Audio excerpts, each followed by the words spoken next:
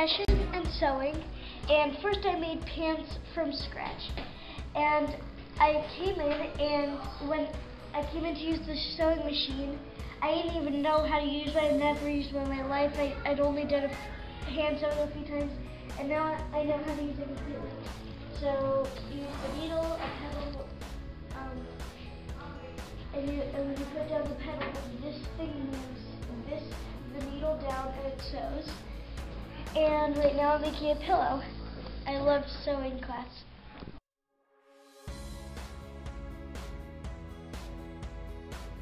My favorite part of this class was making this pillow. It was really easy and it has a nice fabric and it's really fun. But I, I like threading the sewing machine with the threader. It has a little hook that comes down. You attach it to this part, put it down here, and then it goes through the hole in the needle. Thing that I thought was hardest was like I didn't like fixing the holes in my pants because I made a couple of holes. Lorraine is the best sewing teacher ever. Aww.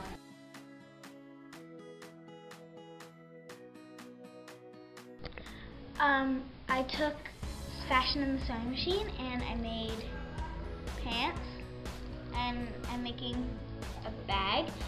And favorite, well, I learned um, a lot about the sewing machine because when I um, walked, like when I came into the class, I had never, like had never used it in my life, and now I'm really good at it. So, and my favorite part, it was like the satisfactory of like seeing these pants that I made from scratch and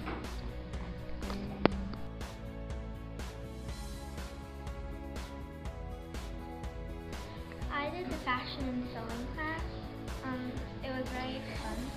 Um, my favorite part was making pants.